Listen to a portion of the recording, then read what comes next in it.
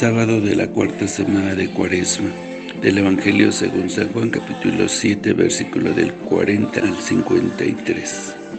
En aquel tiempo algunos de los que habían escuchado a Jesús comenzaron a decir, Este es verdaderamente el profeta. Otros afirmaban, Este es el Mesías. Otros en cambio decían, ¿acaso el Mesías va a venir de Galilea? ¿No dice la Escritura que el Mesías vendrá de la familia de David y de Belén, el pueblo de David? Así surgió entre la gente una división por causa de Jesús. Algunos querían apoderarse de él, pero nadie le puso la mano encima. Los guardias del templo que habían sido enviados para apresar a Jesús volvieron a donde estaban los sumos sacerdotes y los fariseos, y estos les dijeron, ¿por qué no lo han traído? Ellos respondieron, nadie ha hablado nunca como ese hombre. Los fariseos le replicaron, ¿acaso también ustedes se han dejado embaucar por él?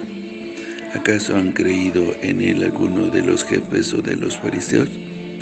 La chusma esa que no entiende la ley está maldita.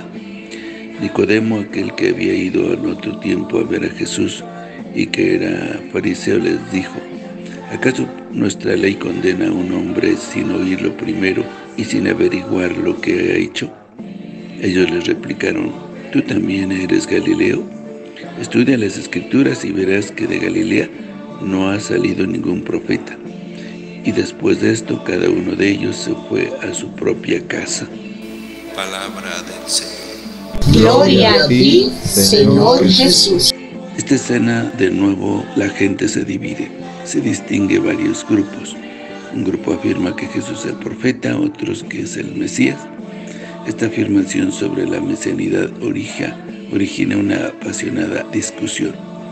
El evangelista no le interesa la, la ascendencia ni la patria terrena del Mesías, sino su origen divino. Antes del gran debate que enfrentará a Jesús y a los fariseos en el templo, el evangelista muestra de forma plástica cuál es la disposición interior de estos. Los guardias enviados con anterioridad regresan sin nada, excusándose. Jamás hombre alguno habló como este hombre. Los fariseos recurren a su autoridad para callar la admiración de esa gente. Y llama a Jesús de nuevo engañador, y el pueblo son llamados ignorantes y malditos. Hay que ver en estas palabras el juicio patente de los fariseos respecto a los cristianos juánicos de origen judío. El enfrentamiento de los jefes religiosos y de los fariseos contra Jesús va en aumento. Con Jesús estaba el pueblo, contra Jesús estaban los hombres de la religión. Los argumentos del pueblo eran que Jesús es el Mesías, es el profeta, es decir, argumentos positivos. Los argumentos de los dirigentes religiosos era que el Mesías no podía venir de Galilea, que de Galilea no podía salir un profeta que el pueblo no conocía la ley religiosa y que además el pueblo estaba maldito. Jesús es el Mesías enviado por Dios para dar vida y libertad a nuestras vidas, para conducir nuestras vidas por el camino del amor y de la reconciliación, para llevar a experimentar el amor misericordioso del Padre del cielo e introducirnos en el reino de Dios. Si este no es la expectativa de Jesús para tu vida, cámbiala en todos los ámbitos hay también alguien que mira a los demás con arrogancia y prepotencia desde la altura de sus propias ideas o las tilda de ignorantes.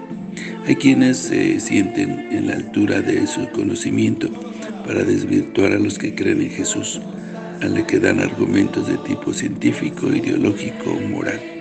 Defendamos la verdad desde la humildad y el testimonio de nuestra vida. Esperamos que nosotros hayamos tomado partido por Jesús.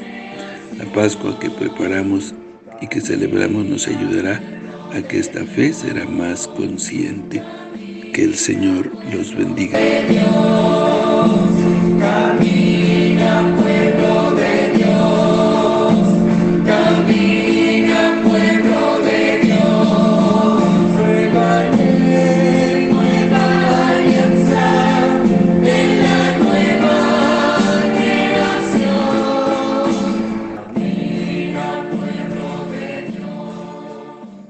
La bendición de Dios Todopoderoso, Padre, Hijo y Espíritu Santo, descienda sobre ustedes, que los acompañe siempre.